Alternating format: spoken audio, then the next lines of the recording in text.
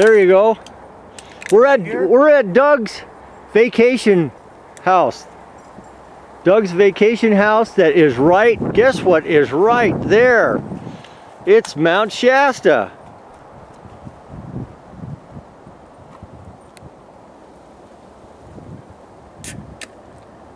There's Mount Shasta. She's right in there.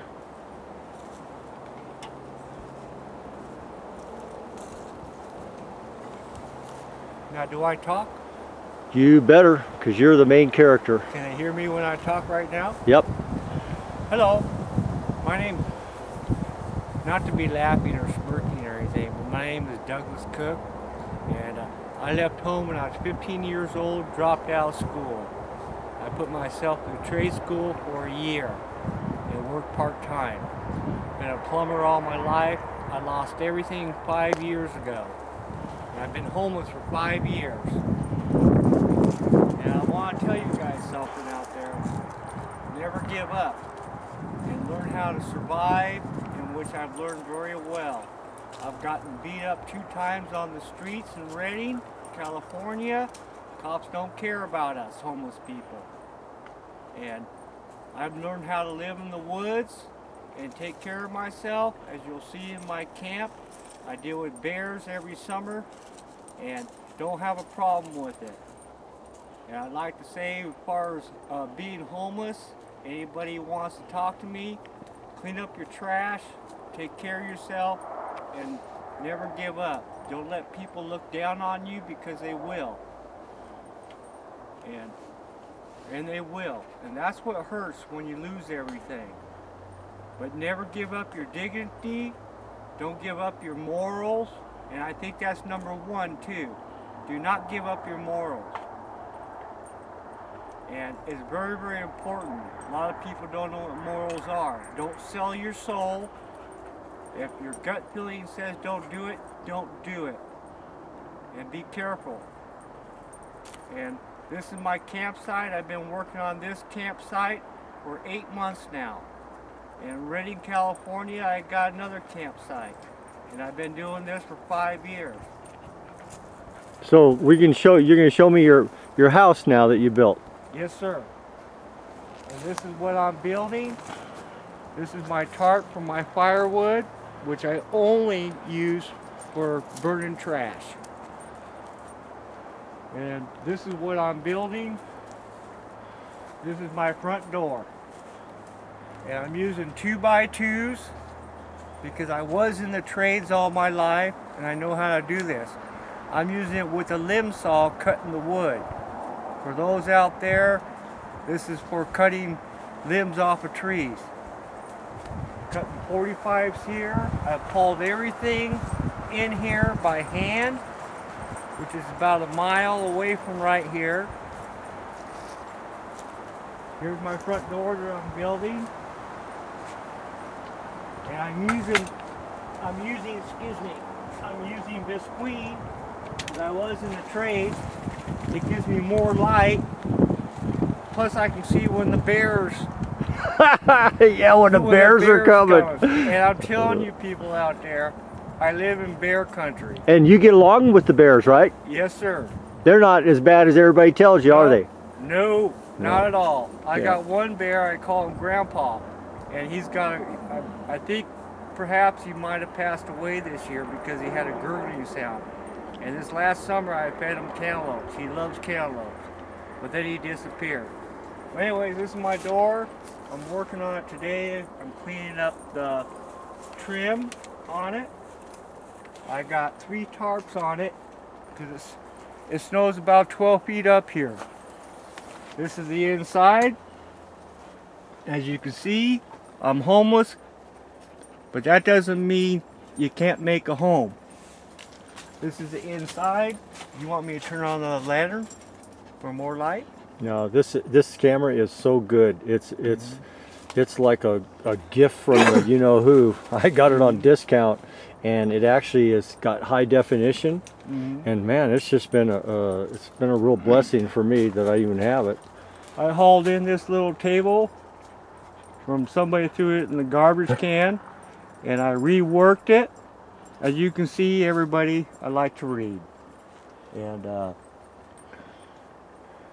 anyways, I made this. I got the this wall in the front will be the same in the back, except for of course the door. And I'm gonna put a window right here, frame that in. And this is stout, as you can see. And just because you're homeless doesn't mean you can't make a home. Because you want- can't be clean and and and uh, you can- fruitful. Yeah, you can Yep. be clean, clean shaven. And as you can see, I made a clothesline pole, just like in a regular house. The word homeless is you don't have a home. But what I've learned is you can make a home anywhere. Yeah, and and the opportunity sometimes comes when you least expect it. Yep. Yeah. Well, can you show me your garden? Yes, sir. And we are out here in the wilderness, folks. And but anyways, let me show you all this first. This is where I do all my work as far as framing my walls and everything. I cleared this area out. And I want everybody to know I keep with the with conversate uh keeping the woods the way they are. I made berms for my garden, starting to look at my garden now. It's a watershed area. So when you have when you're living in a watershed area, where it's here, Redding, Tucson, Arizona, because I camped one year in Tucson, Arizona, uh, you gotta be respectful of that and not be trampling down everything.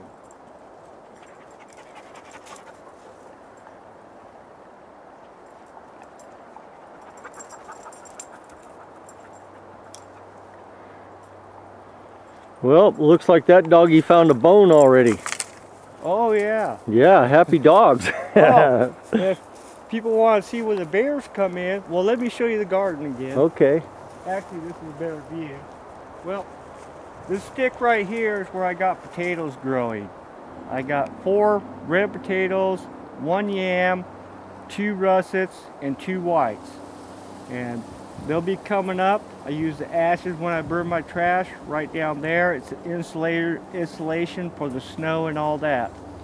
And this spring, uh, about another three months, I'll be growing onions, pearl onions, uh, broccoli, cauliflower, and things like that. I'm going to move the berms, as you can see there, go like this, move them and square it off. But I'm using the natural uh, wood that has fallen down over the trees over the years as a watershed area too, because you do not want to disturb any of that because the, the land is fragile. Fragile. So you're trying to put yourself to work into what's natural and enhance it without changing it. Exactly. Yeah. Exactly. You have to be very careful when you live in the woods. In the desert, like I said before, I lived in the desert out of Tucson, Arizona uh, for almost a year. And that's really fragile environment. And people have to be respectful of that. You clean up your trash. You can see I smoke cigarettes. And now, because I'm a little better off, I can drink beer. yeah. And I think I deserve it, folks, because seven, eight months I've been working on this camp. I got another camp in Redding, California. And I've been camping there for four winters there. This winter, I'm camping here. Well, that's a nice big old tree you got right there next to your camp. That's kind of cool because that's, gosh, that's got to be what a at least a 150 year old tree. You think? Yeah, but the only thing that worries me about it, if we do have a good electrical storm, I'm going to get zapped.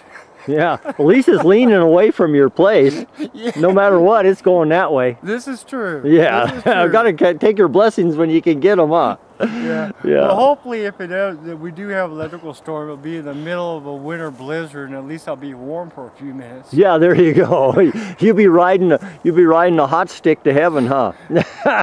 uh, that's funny. All right. Well, this is great. But anyway, let me show you where some of my bears come in. There, I got one hanging around. It's a young one. It's only probably about two years old.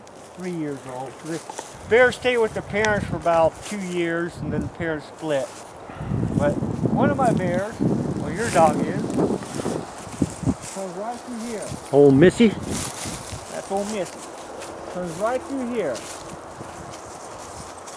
But since I've been camped here, I've uh, I've had good rapport, and this is true. This, I'm not people out there that don't know anything about ending up homeless, and they're going to have to learn as you become homeless. And the United States have probably a half a million homeless people now because of the economy.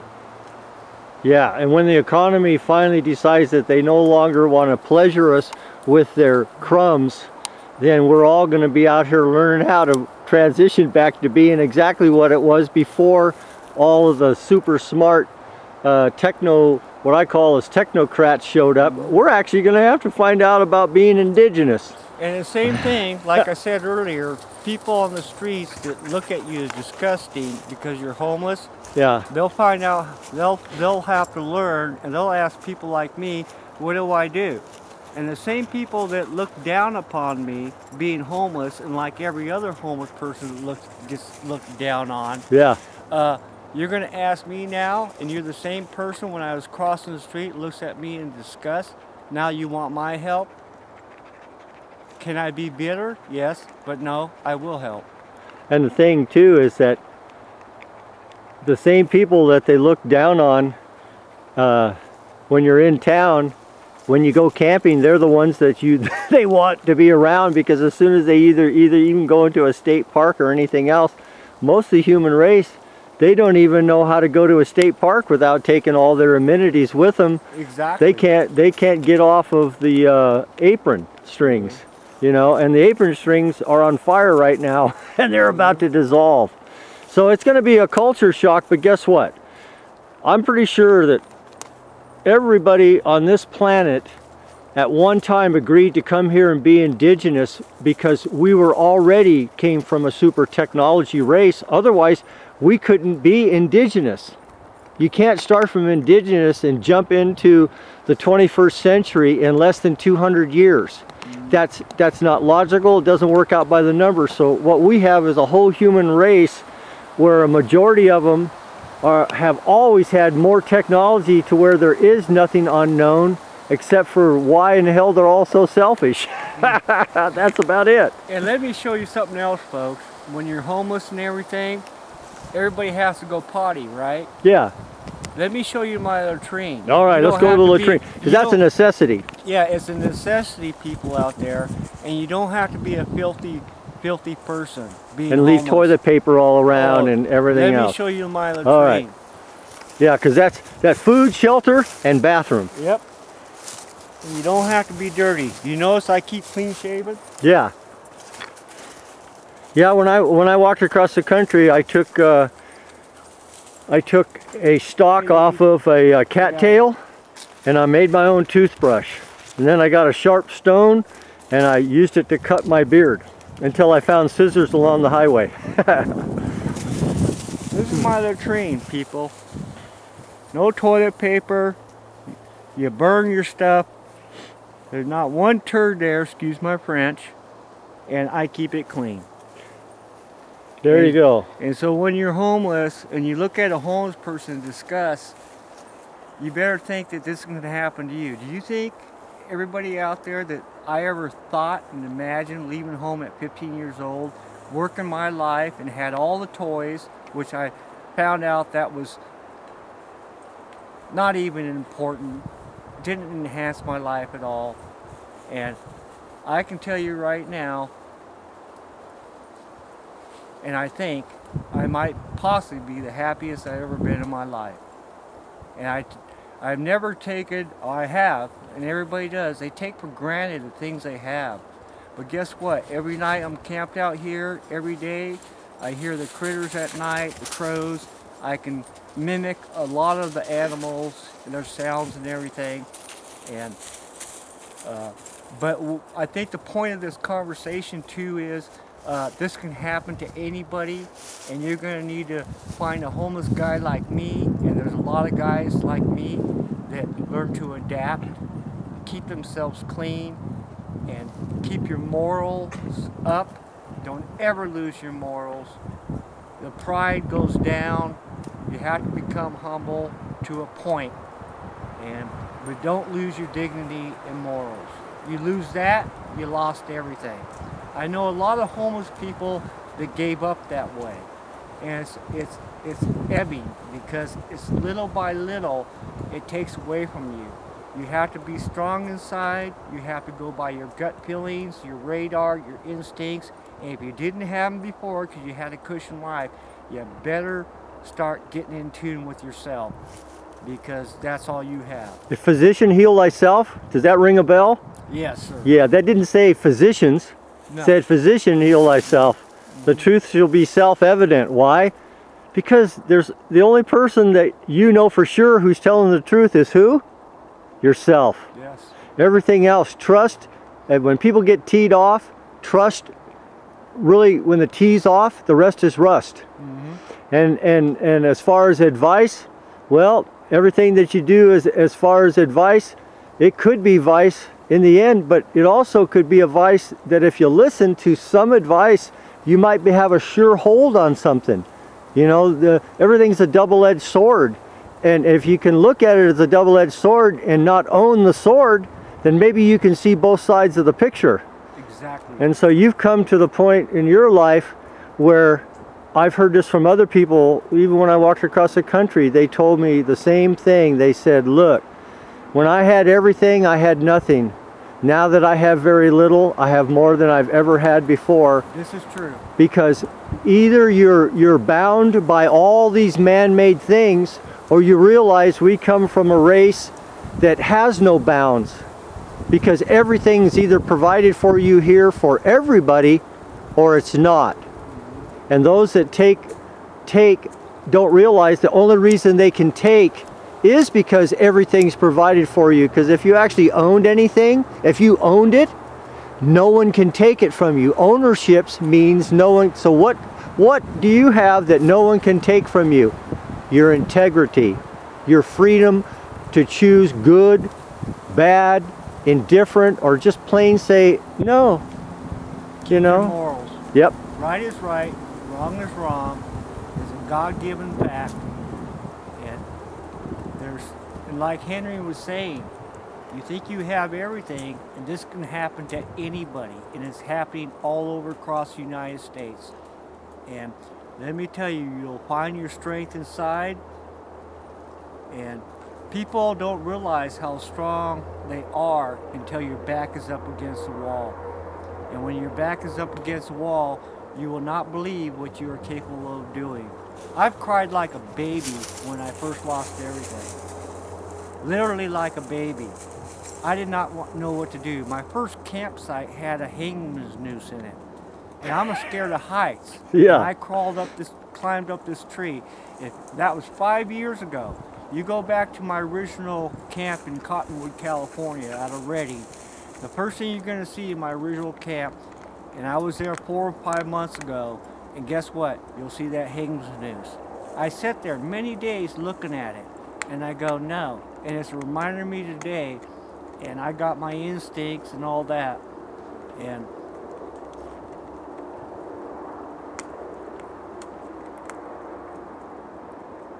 And like Henry was saying, how I feel too is people think, uh, like I said, I had all the toys and all that. They weren't nothing to me. And I realized that years and years ago, got rid of all the toys. And the little things like this, you, you start appreciating things in a different way and in a different light. And what I've really learned too is I appreci- appreciate people more than I ever have.